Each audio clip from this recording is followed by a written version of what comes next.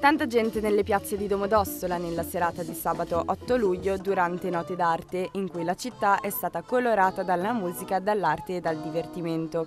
Sorrisi strappati a tutti, ai bambini con i diversi spettacoli di burattini e agli adulti con la possibilità di ammirare le opere di Guercino, De Nittis e Quinellis a Casa de Rodis e a Palazzo San Francesco.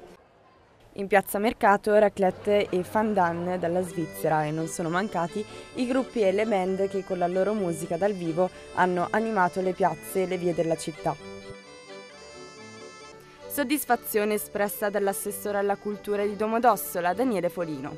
Durante la serata l'affluenza alle mostre era notevole e questo conferma una buona valorizzazione delle nostre esposizioni di qualità.